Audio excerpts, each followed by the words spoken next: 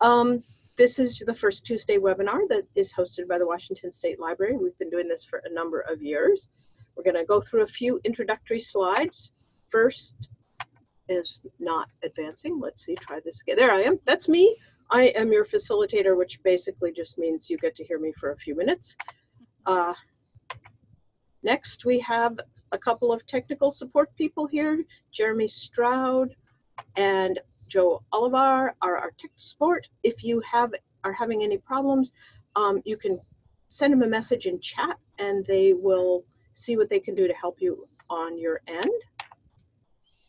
And I wanted to say that this webinar is brought to you by the Washington State Library and the Institute of Museum and Library Services, who is our funder. And I think that's my last slide. So I wanted to tell you that today we have an excellent webinar about zines, and we have two zine librarians here that I wanted to introduce to you. The first is Kelsey Smith, and she is an adult services librarian, librarian senior, pardon me, at the Lacey Timberland Library. Hello. She's also an organizer for the annual Olympia Zine Fest and a collective member of the Community Print Letterpress Studio in Olympia, Washington. Kelsey, Kelsey founded the zine collection at the Olympia Timberland Library, which is now thriving under the care of her coworker, Agatha Burstein. Um, the Lacey Timberland Library's new zine collection launched in July, and anecdotally, I am, want you all to know that I'd never heard of a zine until I met Kelsey, and she has just totally pulled me into it, and I know that this will happen for you all too. Our second presenter is Agatha Burstein, and she's a librarian in adult services at the Olympia Timberland Library, where she maintains the zine collection and runs a zine club, among many other things. She's also a founding organizer, along with Kelsey, of the annual Olympia Zine Fest. And they are going to tell you all about zines. And by the time this is over, you're going to know more than you did before. And um, take it away, you guys. Thanks everyone for coming. This is really exciting and thank you Nono for inviting us. Uh, I'm Agatha. This is my voice I'm Kelsey. This is my voice. and we're gonna get started. Okay. Zines to the front. Yeah. All right. Okay, so we're going to talk a little bit about um, what a zine is. So um, it's it's uh, I'm I'm assuming that most of you, if you're tuning into this, that you're familiar with what a zine is. But just just in case, usually um, foundation is in order. Um, so the first thing is that you pronounce it like zine, like bean. Um, a lot of people call them zines, and um, That's fine. it's fine, but that's not what they're called. They're called zines. if you think of it as short for magazines, that that makes it um, a little bit easier to remember. Um, here's a couple of definitions of what a zine is. Um, one is from Barnard Library, our friend Jenna Freedman, who's a zine librarian at Barnard College and um, one of our zine heroes. And then uh, Stolen Sharpie Revolution is kind of a seminal uh, book about zines by Alex Wrekk. Um, so that's another definition. And next slide. This is um, a poster that Aggie made for when we do outreach events on the left. Um, it, it's a it's a good resource for people that might not be familiar with zines because they can kind of look at it and absorb the information themselves instead of having to ask us. Some people don't feel comfortable with that. And then the image on the right is something that our friend um, and fellow Zine Fest organizer and coworker Naomi Bell drew. Um, it's ZineCast. So yeah, um, just a little more about zines. They're customarily created by physically cutting and gluing text and images together onto a master flat, and then they're usually photocopied. Um, a lot of people like to use typewriters and clip art when they're creating zines, but a lot of people also create them on computers. Um, any, you know, people draw them by hand. Any any way that works for you is is fine. Okay, Cool. next slide. All right. So why zines in libraries? So I'll just kind of read off this list. Counterculture expression. They're insightful indicators of current times and past ephemera. They represent the underrepresented, give voice to marginalized concepts and perspectives. Interesting and cheap. the big selling point. you can get a lot for a little bit uh, of budget. Um, and they go along with most public libraries' missions of providing access to all types of information.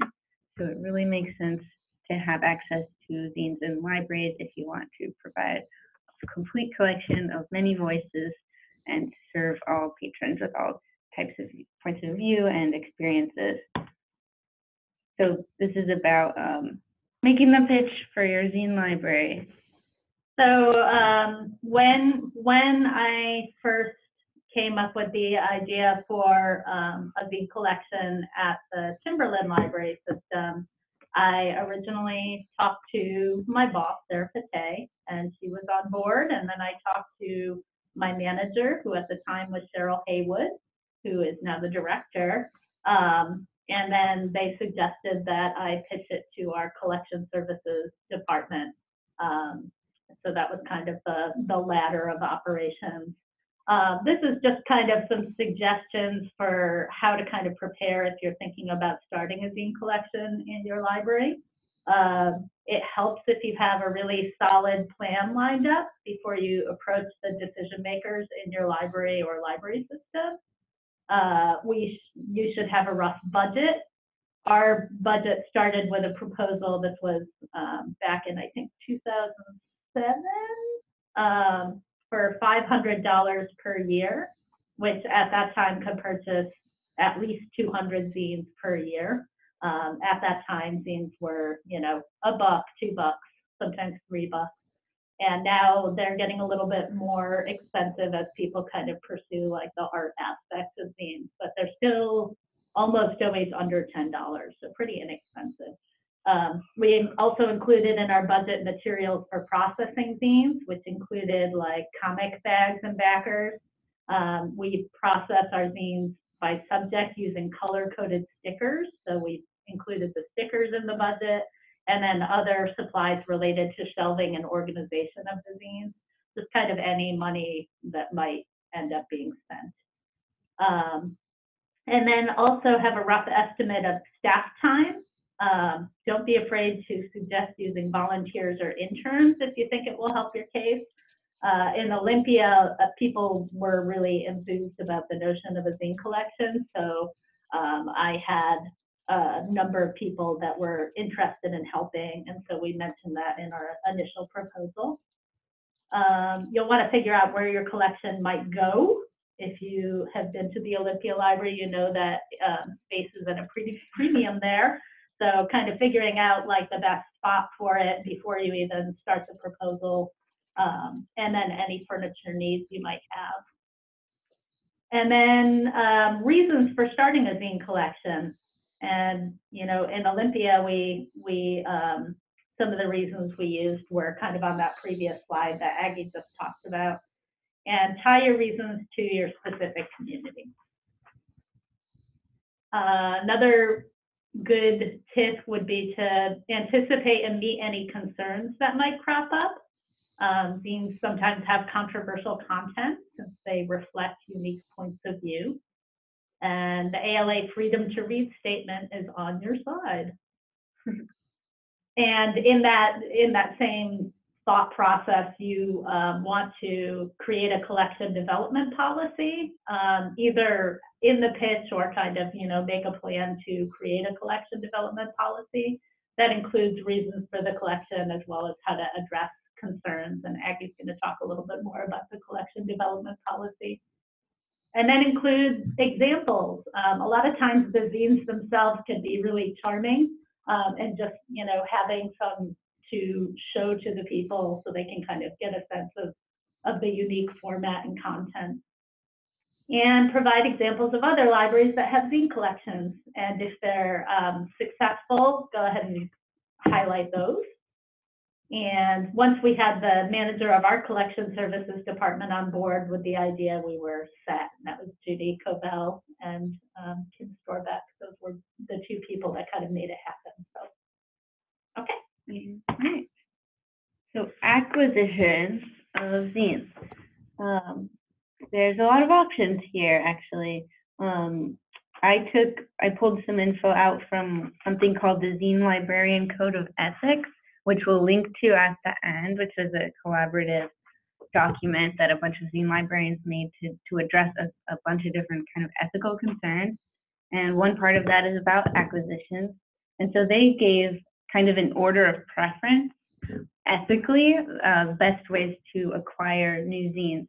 So the best supposedly is just directly from the author or zine maker, which you can often do online or at uh, your local zine fest, which happens in most every city. Um, then the second best would be from a distributor or distro, which is kind of like what it sounds like. Uh, Like a zine store. yeah, like a zine store. They kind of aggregate a curated collection and then they table at Zine Fest or they have a website. So it's a way for individual zine makers to get their zines out there. So they kind of sell it to the distro and the distro will sell them out. Um, so if I'm doing like a big order, I kind of prefer a distro so I don't have to do shipping and handling from every single little zine store. So it just depends if you're doing big orders or a little at a time. Um, and then also you could accept donations or even solicit them if you don't have like a budget.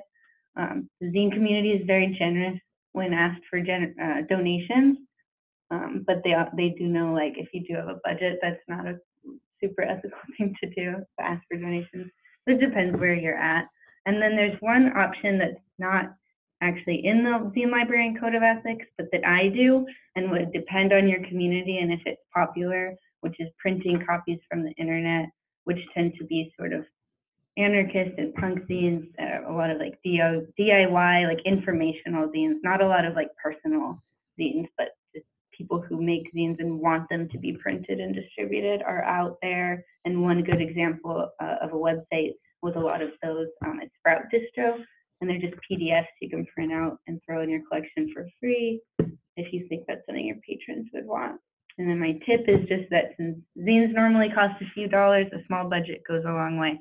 And like Kelsey said, uh, we started with like a five, I think it's still around that 500. And with the donations that I, I get without even asking and printing for free, and then at Zine Fest you can often get a deal because you'll be like, I want to spend ten dollars. What do you give me? And you'll get a bunch of zines. And people love donating to the library. So all in all, five hundred dollars, we probably still get like two hundred or more out of that a year.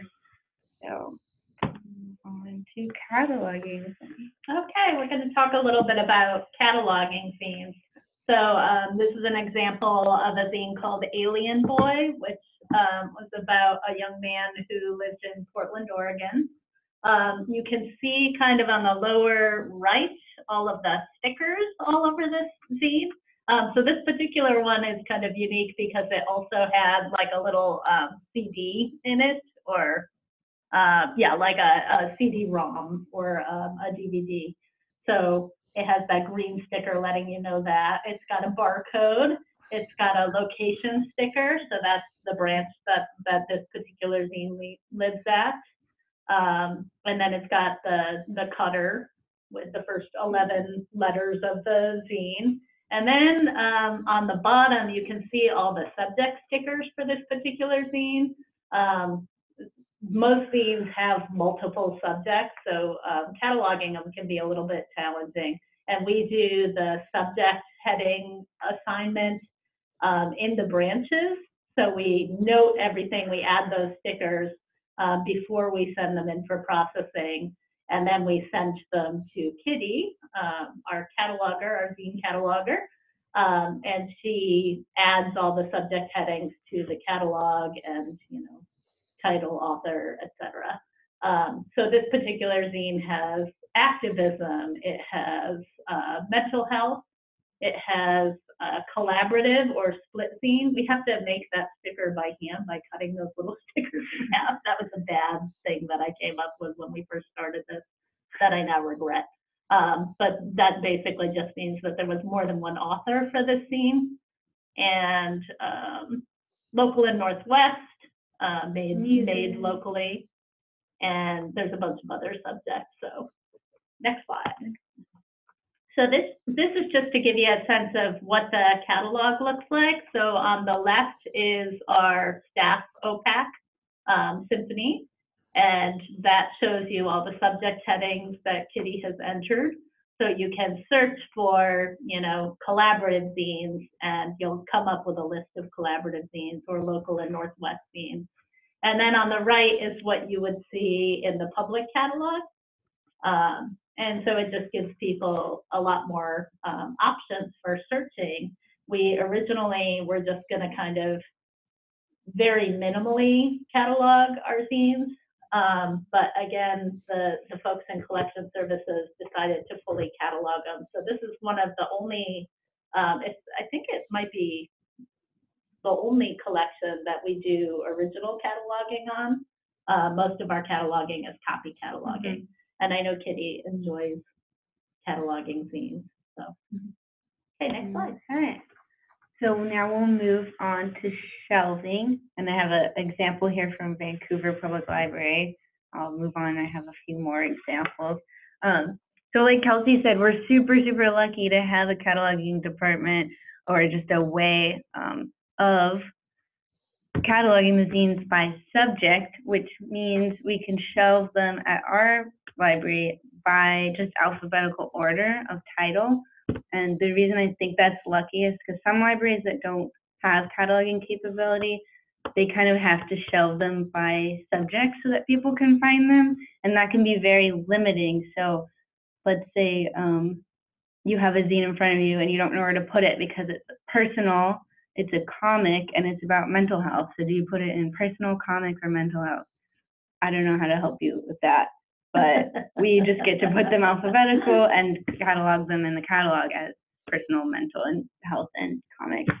So here's some examples. Denver Zine Library, they do it by subject. Barnard, and then this little zine library is actually in Olympia, but it's at a coffee shop, and it's put on by the Zine Fest people.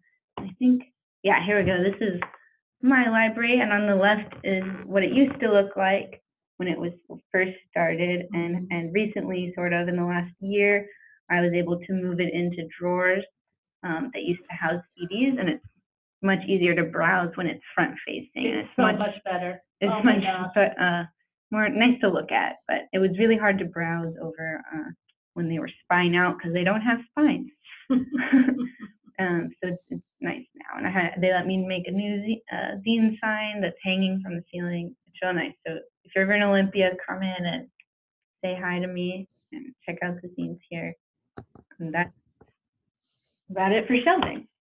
One Oh, one more. This is Lacey's new collection, which I haven't even seen yet. That's in a, um, a record, a record box. So like if you were at a record store, um, browsing through records, the same, Mhm. same concept. Um, and then, you know, dividers by the alphabet, which relate to the title. Very cool. Okay, I'm going to talk a little bit about Ziner's Advisory. Um, this is a term that, that I made up. It's basically reader's advisory for zines. So how to introduce zines to readers who aren't necessarily zinesters. That might be something um, that um, they're unfamiliar with. So um, the the regular reader's advisory process is like you you know you probably all know this. Tell me about a book you've read and enjoyed. Um, you kind of pick out appeal characteristics from the conversation you're having with your patron, um, and then you have a reader's advisory conversation where you suggest some titles. Um, and again, like the appeal characteristics are usually story, character, setting, language, and format. Um, so those all apply to zines as well. So there's there's you know lots of good reasons to read zines. Um, they're really short, so they're a quick read. So if somebody has like a short attention span, um, or maybe reading is not easy for them, um, they're quick and they're really visual usually. Some of the zines are more text heavy, but often they're they're very visual. Um, they reflect unique points of view, so people can kind of identify aspects of themselves within um, culture. They're unfiltered. They're just, you know, from the person's brain right onto the page. Um, they have strong visual appeal and aesthet- aesthetic quality. And um, often you can't find a lot of the subject matter in zines in books. Um, so for kind of unique, um, unique social issues and things like that, um, zines are a really great resource for that. And often they're really personal, so you feel like you're kind of really, you know, getting to know somebody by reading their zines. Um, a, a good way to kind of introduce people to zines is kind of pursuing this concept of crossover zines. So there's a lot of DIY and how-to zines. Um, so if, if somebody's looking to learn how to do something specific, you can kind of give them a zine instead of a book. Um, there, like an example of that would be like how to how to start doing screen printing with with a minimal budget, or um, how to start a, a show venue in your house. Um, nonfiction zines that tell true stories. Um, it's a good way to kind of again like if somebody likes to read nonfiction books, you can kind of introduce them to non nonfiction zines. Um, if people enjoy biographies and memoirs, you can introduce them to the concept of a perzine, which is just like a personal zine. So um, that's just where people kind of write about their lives. Uh, comics, there's tons of comic zines. So if somebody's into graphic novels, you can introduce them to that. Um, poetry, and then uh, just other ways to kind of introduce zines and sort of incorporate them into your collection is to write reviews um, or make lists of zines. So we do a lot of that, um, and Aggie does a really awesome job of that. She makes zines that have lists of zines in them. So sometimes when people don't know where to start, it's nice to have kind of a, a smaller list. Um, incorporate them into displays and social media. And then the hand sell, which is where you literally just like hand it to somebody and say, you would like this. Um, and that that's something that um, libraries do already. So next slide. Okay, so programming, uh, I'll talk about this. I think it's, it can be really important if you're gonna have a zine library to sort of interact with it and not just have it sitting there passively and hoping that people will get the idea. Programming really helps. A lot of people come to programs and they don't know at all what they're going, what's going to happen there, and they find out, and it's really great. So um, every year for International Zine Month, which is a thing started by Alex Wrekk, who wrote Stolen Sharpie Revolution, um, is July. So we've had for eight or nine nine years now Mhm. every summer a 24 hour zine thing challenge where um, it doesn't actually last 24 hours, although It once did it one did. year, never again. Um, but it's a good span of time. This year it was 1 to 7 p.m. And the idea is they would finish it elsewhere within 24 hours. But you put out all the materials to make zines. We roll the copier in there and let people use it. And we always make a collaborative zine, so every all attendees have the option of just making a page that goes in there, and it would be like a different theme each year. This year's theme was regret, was so good. and a lot of people like to just start there, or that's the only thing they might do if it's too overwhelming to make a whole zine. But that's an annual summer event. And then in the last, maybe a year ago, I started a monthly zine club, which is still figuring out what it is. But I wanted um, people who make zines and write zines to meet each other because it can sometimes be a very solo activity. And I know there's a whole community in Olympia, but a lot of people don't know each other. So that's been really cool to just have people meet each other. And I usually plan an activity or have a guest speaker at those. Um, so you could talk to me more about that. Oh yeah, and then we always have snacks at our programs because we're lucky to have a really robust Friends of the Library group that um, always offers to pay for snacks, and people come. I hope not just for that reason, but it does help. Um, and then the one on the right is this is going to be our third annual Zine Fest in Olympia, and the three out of three we've kicked it off at the library um, with a special kickoff event. And this year's is a zine-a-thon with a bunch of things going on. And in the past, we've had like a panel and a music show. So partnering with, uh, if your city has a zine fest, those are definitely some people to talk to um, and work on ways of working together because it just makes sense to do that. Uh, okay, and then here's some pictures Kelsey added uh, of some programs. We're actually going to talk a little bit about outreach. Oh, this is outreach. Yeah. Sorry, so- my bad. Oh, that's okay. Um, so, so for outreach, um, you know, getting getting the word out there about zines and your zine collection um, is is sometimes like an uphill uphill battle. Um, so the more places you can kind of introduce the concept of zines, the better.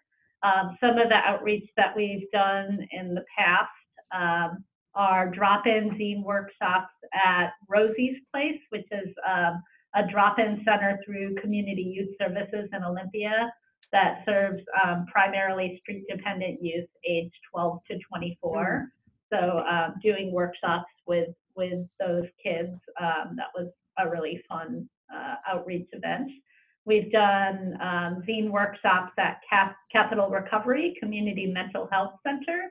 And uh, one time we did that, we created a collaborative zine about mental health that was really awesome. Um, I really loved the way it came out.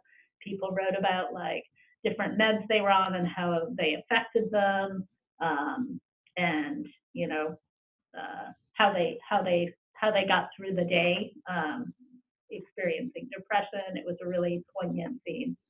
Um, we have done Adult Swim, which is an after hours event at the Hands On Children's Museum. Uh, that was a collaboration between the Olympia Zine Fest and the Timberland Regional Library.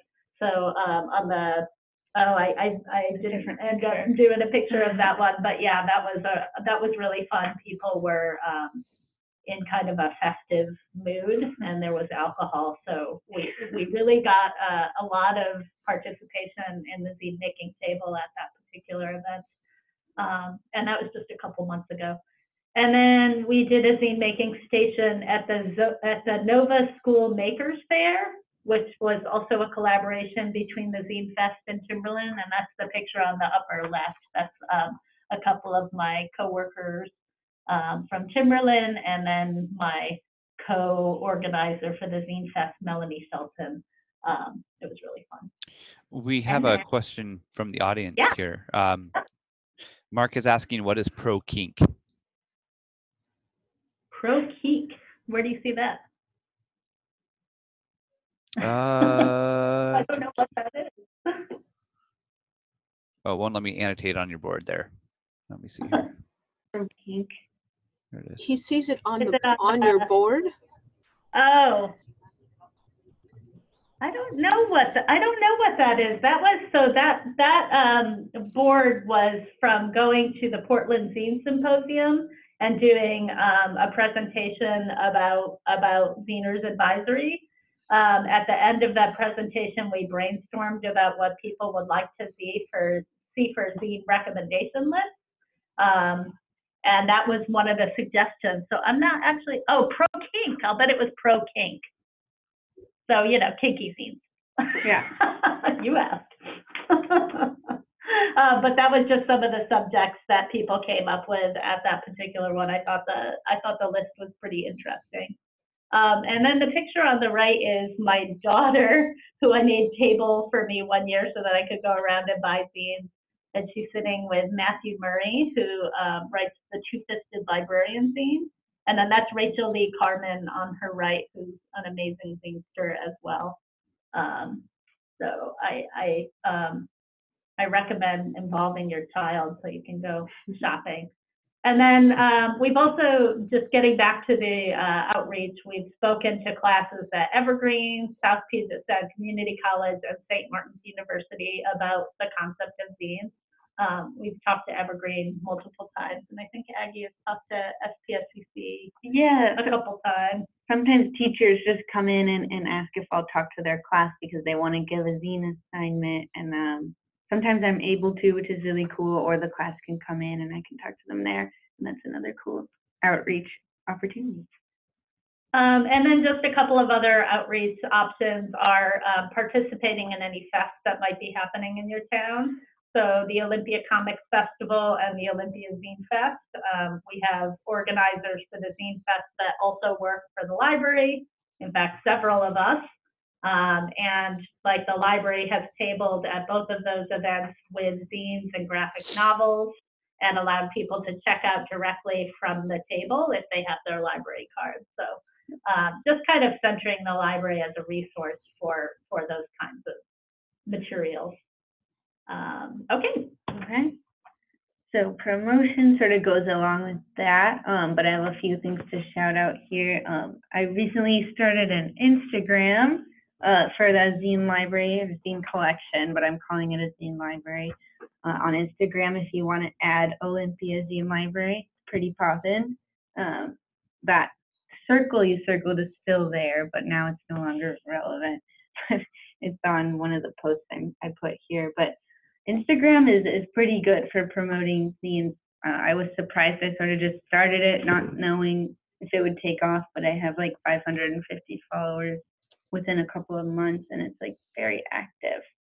So, and people have reached out to me on Instagram saying, "How do I donate my zine?" And it's been a really cool way to just feel way more connected to the community than I was before, as kind of part of an institution.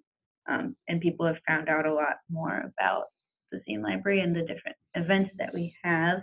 Um, another way of promoting um, is just to put out there, this, this is like in the middle, actually a piece of paper I would print out and just have by the collection. Um, before I did this, people did not realize that we had these things. Um, they're not supposed to be secret, but you know how it is hard to, to sometimes tell everyone all of the different things the library has for them. Um, but this puts it all on paper, and I kind of call it my no excuses list because we kind of have everything that you would need to make a zine for free, minus color copies. But there, that is. Um, and then I threw in displays there. This one is for International Zine Month, and so it was all zine related, um, including anthologies, which are like more like published books of long running zines, which are really nice to have too. But of course, you can always incorporate zines into any display, which we try to do, um, almost any display. Depending on the theme, you can find zines to go along with that. Like right now, we have a climate change display, and I have a few zines in there. So that that's another way. And there's that cool um, what's a zine board again. Yeah, I threw that up there where, wherever it feels helpful. So great. And by the way, our craft hounds are all missing. So if you happen to have craft hound and you'd like to donate it to the library, it's very expensive now. So Right. um, get in touch. Very sad. Um, but those were great clip art books that people could photocopy or scan and then use. Uh, and someone just stole them without checking them out, and they, I hoped they would come back, but it's been like six months or Yeah. more. So, all right, this is just a short resource list because um, if you actually you can't click that link, but let me put that in the We'll, chat we'll box. add it into the chat box. I'll put it in the chat box because Yeah. we made a, a sort of extensive resource list um, at this Google Doc. But we just wanted to shout out um, the Zine Librarian Unconference. What did it start in 2012 or so? I, I, no, it was way earlier than that. earlier It was than that. like, Okay. um, I feel like it was 2008 or 2009, maybe, because it was not long Oh, after. here's, I made a tiny URL. Yeah. Um, Oh, but yeah, the Zine Librarians Unconference is basically just a, an opportunity every year to go and hang out with Zine librarians. And it could be um, a Zine librarian that's running an independent Zine library um, that's not, you know, like a, a public library or an academic library. Um, it also can include folks that like Milo um, and Milo Miller and um, Chris both do QZAP, which is the Queer Zine Archive Project, um, which is a digital zine collection that you can access online, and they they attend um, whenever they can. Um, and you know, it's it's just a really great way to connect with people that um, feel passionate about zines and libraries. It's in a different place every year. Uh, they just had one in San Diego. San Diego. Long Beach? Long Beach, Yeah. yeah, yep, this year. We didn't get, Yeah, it's always free. Um, they, they try to make it so it's really accessible for people to come. Um, yeah, there's more info if you just Google that or it's on our, our big resource list. Um, the second thing, Zine Pavilion at, at ALA and PLA, they, I think it's, it's, there's sort of a core group that does it, and different people help each year. I think it's been at other um, conferences as Mhm. well, but It these, was at these two are the main one ones. year. Yeah. Um, but it's basically part of the exhibitor section of the conference, and it's a big zine expo where they have people who make zines table, and so you can look at and buy f straight from them, and they'll have people there to like answer questions, and they will put on a reading or some sort of like little event. So just look for that if you're ever at a conference. It's a total refuge away from the Mhm. exhibit floor because it's, um, it's, it's awesome. And Yeah. they have comfortable chairs too. So the resource link, I've, I've pasted a tiny URL into the chat box. Um, I don't know if you could still see my screen, but it looks like this. So there's a lot more and we've sort of annotated it with descriptions. And these are all great places to find more information. And one more shout out to the Zine Fest. It's October 13th through 15th coming up. Um, we hope that you will come. Um, we've got, you know, a pre-fest event at the library and then tabling all day Saturday, workshops, um, an evening reading, um, and um, workshops all day on Sunday as well. So, and it's all free unless you buy zines, which you should. Okay, so we're open to questions now. If anyone has any questions. How do you preserve zines from the wear and tear by the public? That's a really good question. It is Um, a good question. And it was recently asked on the Facebook group for zine librarians, and there's a whole bunch of answers there. Um, for us, we use comic book boards and backing. It's like plastic sleeve. I don't know if I can go back. If you can see there, they uh, each zine has like a white board as its back, and so it's stiff and it and it lasts. They last a long time, and it, it's it's really good for transport, like in a backpack. Um, if they weren't in that, they would definitely get all torn and dirty. In You had a water. shot of the Lacey zine collection, I think, which had a nice close-up of Yeah. one of those boards. So they just slip right in there and slip right out. Yeah. And we Um, do check them out in those, in those bags and backers, and people have gotten used to kind of bringing them back. mhm. Um, and if they don't bring them back, we just make a new one, so. Um, but at the same time, we're not an archive, and we understand that zines are sort of ephemeral, and they don't always come back to us, and that's just part of the fun of it, I guess. Uh, we try, but it's like we're ne- we're never gonna. They the alternative is you don't let people check them out, and um, I don't think that's it's worth that. Preservation is There are a lot of academic libraries that use zines as, um, as a, an archive or, you know, a non-circulating collection.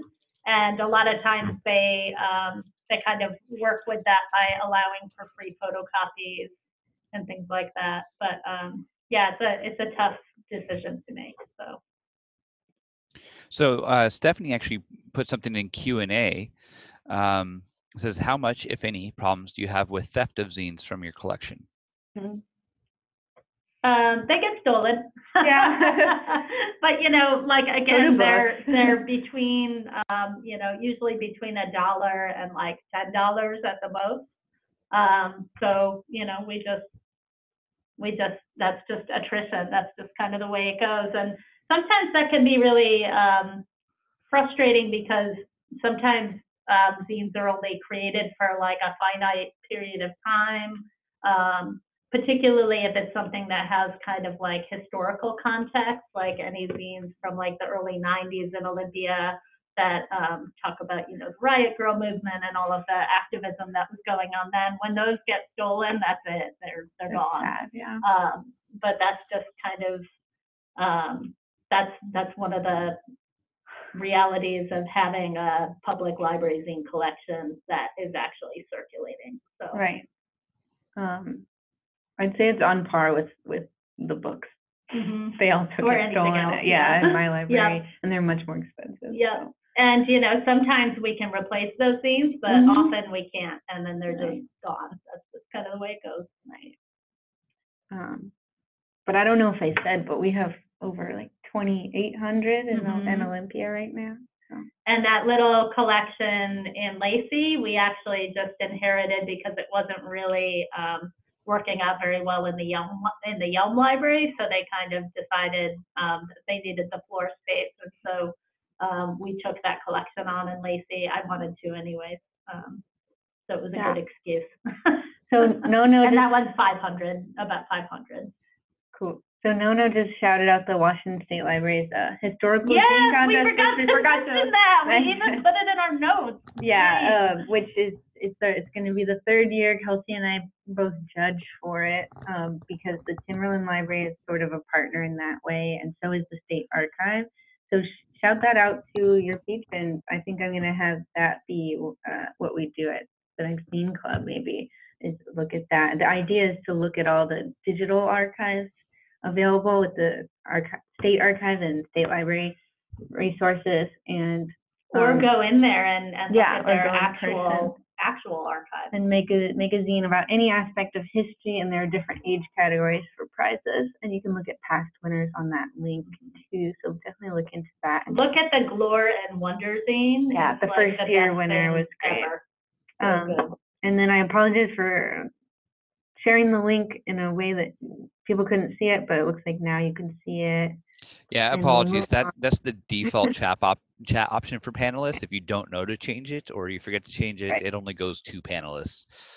right Uh, no worries okay let's uh, try to get through the rest so um, are most of your zine creations uh, participants adults kids or a bit of both you're trying to appeal to more of the younger readers oh, let's So- talk about um, Zine Camp.